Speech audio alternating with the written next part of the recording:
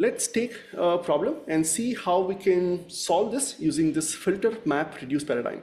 We'll follow the best practices of doing coding in Earth Engine and see how we can think of the problem and break it down and solve it step by step. The problem that we want to solve is we want to calculate the yearly rainfall in a given city for last 20 years. Okay. So given a city, we want to know what was the annual rainfall for each of the last 20 years. And this problem seems kind of quite complex and abstract. If you were to do this on the desktop, you would go to some data set, download the data, and you know maybe you'll get daily data. So first you have to compute yearly data. So you'll take all these rasters, compute the yearly sums, and then take the region that you want to compute, do some zonal stats, and say for this region, give me the average value of the rainfall in a year. But as you start increasing, say I want not for 20 years, maybe I want it for last 50 years, then the computation becomes massive. We'll do this in Earth Engine and see how we can kind of think of this problem and solve this using this filter map reduce paradigm. First, let's find some data. I'm going to search for precipitation. There are many, many data sets in the data catalog. If I just go through the list, each of the data sets, some are the global data sets, some of them are regional data sets. You can read each more about each of these data sets here. Some of the popular choices are GPM. GPM is useful and GPM and GSMAP, they are useful if you want near real-time information. I want to know the rainfall three hours ago, or I want rainfall yesterday, right? So if you want near real time, they're not that accurate, but you get some information about something that is near real time. You have uh, CHIRPS. CHIRPS is a consistent long-term time series, 30 plus years of global precipitation data, very high quality. If you want to do some time series analysis and compare you know, the history of each pixel and trends, CHIRPS is really good for that. You have ERA5. ERA5 is also very popular, 50 plus years of time series, and again, very widely used. You also get a lot of other climate variables like wind speeds, etc. We're going to use this CHIRPS data. CHIRPS is a data set, one of the highest resolution rainfall data sets, 5 kilometer by 5 kilometer grid, going back 1981.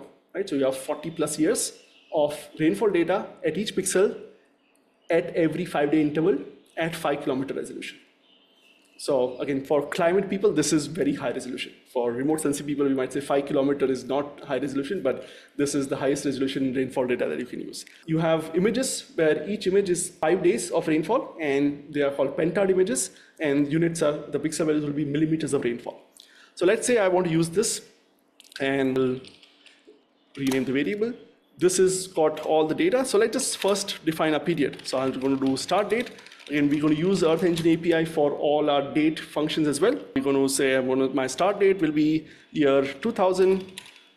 My end date, for now, let's just do it for one year. So um, first we'll do it for, you know, calculate the rainfall for one year. And then we'll just scale it to 20 years. First, we'll just do one year. And you can say I want to compute the end date, which will be start date advanced by one year. Okay. We'll filter it so we'll take our chirps collection, apply a filter, we'll take our start date and end date. And if I now do print this, you'll see that this image collection has 72 images, one image every five days. So 72 images, they have rainfall. So this image has rainfall from 1st to 5th January. This image has rainfall from 6th to 10th January at every pixel in the entire world. Right? So you have this global rasters again, very large data sets. If you start downloading, it's going to be gigabytes of data, but now we can just access it here in Earth Engine.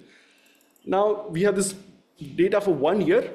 I want to know what's the total rainfall at each pixel. So I want to know at each pixel, what was the total rainfall in a year.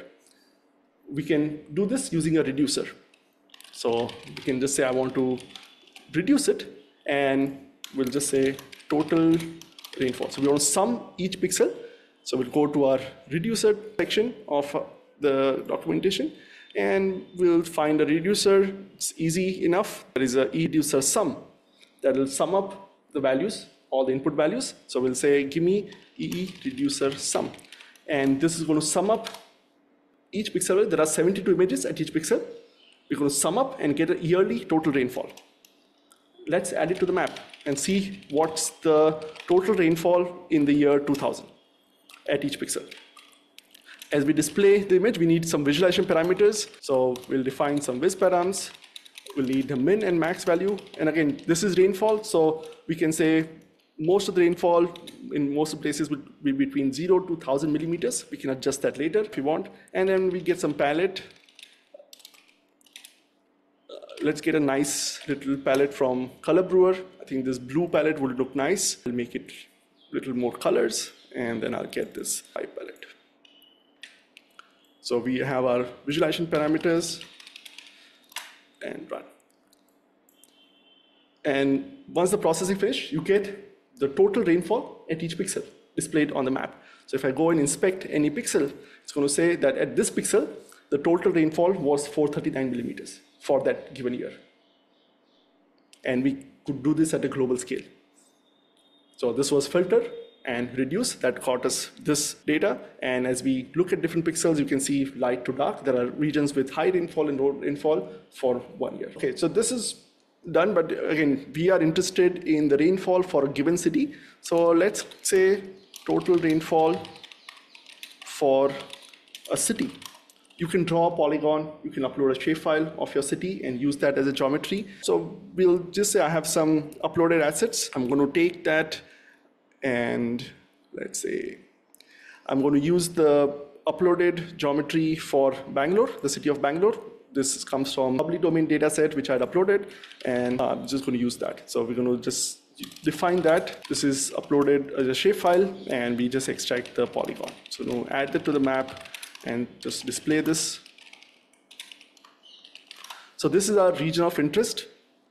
You can see this is the municipal boundary of the city of Bangalore, and there are many, many pixels within that.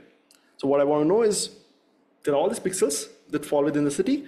What was the average rainfall in the city? If I want to compute the total rainfall that happened in the city, I want to say there are maybe you know 20 30 pixels inside. I want the average value of that. This is something that you can do with a reducer. Whenever you think of yourself saying that i have many pixels i want to compute some statistics that's where you use the reduce region function. So let's say within this city we have this total image which is the total rainfall for a year we run reduce region control space to autocomplete and here we specify the reducer. This is the, we have many pixels of the image. What you want to compute out of that? We just want average. Remember, rainfall is always summed across time, but average across a region. Because if you think about it, it rained 1000 millimeters at your house, it rained 1000 millimeters at your neighbor's house. The total rainfall in your neighborhood is not 2000, right? It's just 1000, right? So you need to average it across the region. So we'll do reducer mean. Geometry is geometry we give, scale, we need to specify the at what resolution we need to do the analysis. That has to be, we always go and check the data. And the bands tab, there'll always be the resolution mentioned in meters. We always use that. You'll get the most accurate results if you use that scale. rest, we can skip this. And sprint stats. It says in this region, in year 2000, the average total rainfall was 1081 millimeter. And this is a dictionary, so we have a key, we can just say, just print this number.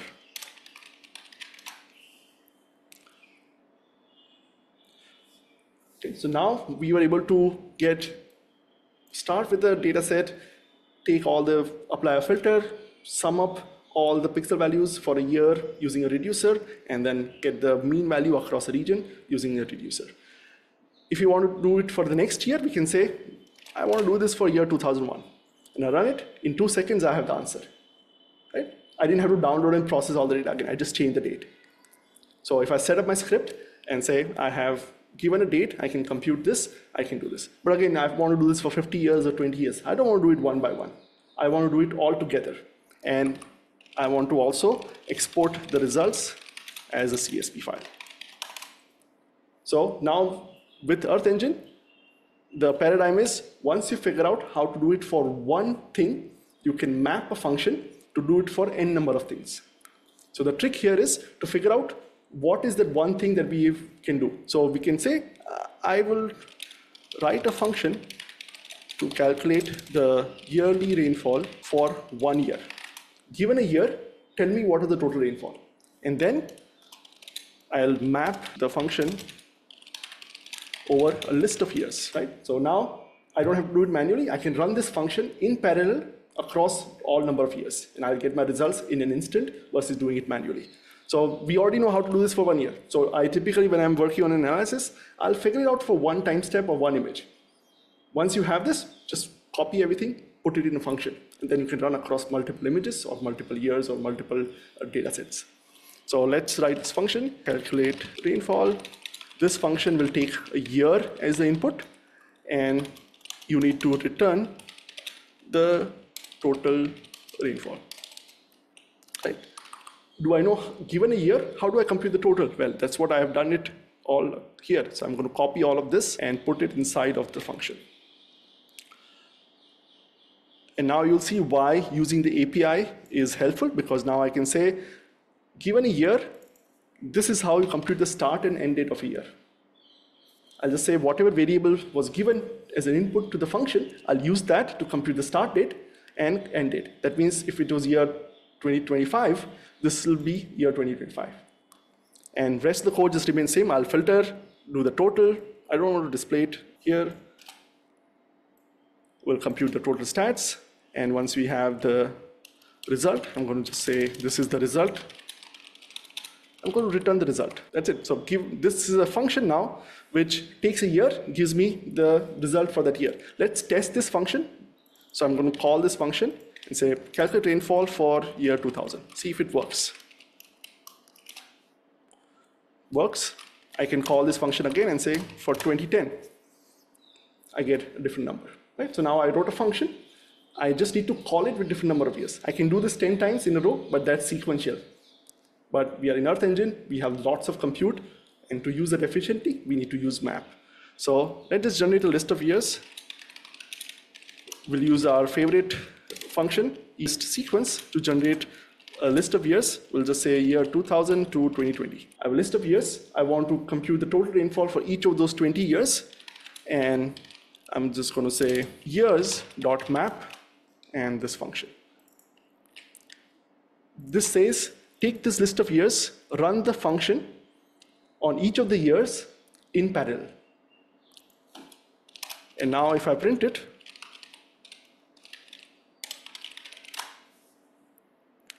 I have total rainfall for each of the years. I didn't do it sequentially, I did it in parallel, and I could do this, and I can just change it to 50 years and I'll get my results. Okay, so this is using map. So we did filtering, some reductions, we did a map, and now we get the result. This is great, but many times you're doing this large scale processing, this will not finish in five minutes. And many of you will encounter errors like computation timed out or user memory limit exceeded. The solution to this is to run it as an export. Also, you may want to take this data and do some regressions or do some other analysis. It'd be nice to get this data as a CSV file. So if you want to get output as a CSV file, we need to export it as a feature collection. Earth Engine can export feature collections as shapefiles or CSVs. So let's just create a feature collection instead. Instead of returning this result as a number, we'll just say we'll return it as a feature. A feature is just some geometry, we don't have a geometry, and just some value. We'll just say total.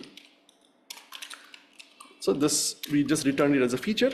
And now when we return as a feature, you'll see that you get a list of features. Features is just organizing the same data as a feature collection, so we can export it.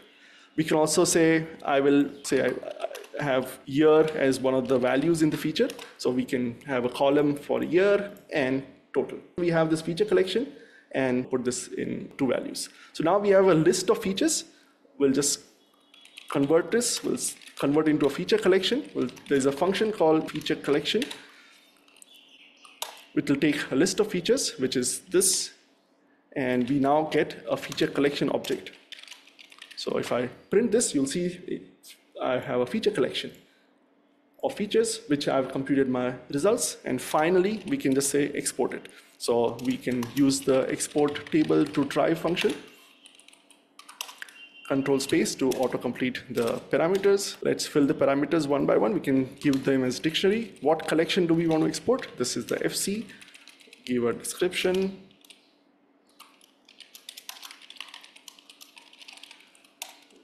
We generally export it to a subfolder in the drive. The file name prefix, we'll just say rainfall. Format, if it was a geospatial data, you can export it as shapefiles or GeoJSON, etc. This is just a CSV file, just two columns of data. So we'll just say this is CSV.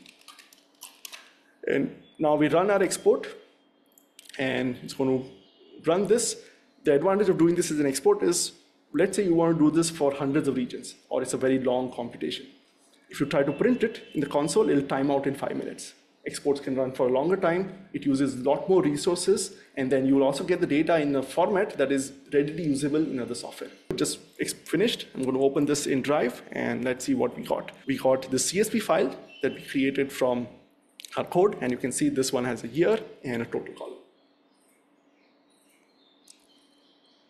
And we can download it and use it in any software.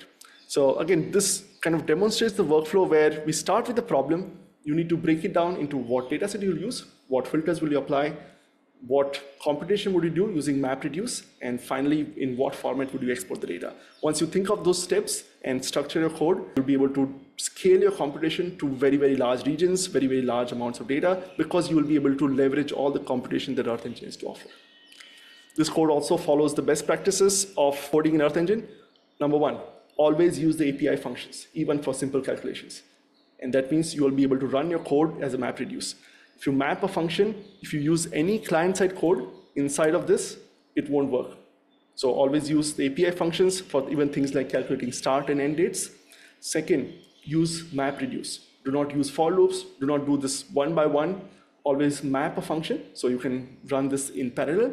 And finally, always export your results exporting results allows it to run it for a longer time, use more resources, and you'll not encounter all of the scaling errors that you typically encounter. The workflow that I just covered is part of this blog post, and you can go and kind of learn the step by step. It's got some additional information on different data sets, etc. So if you're keen on kind of replicating this for a region, check out this blog post.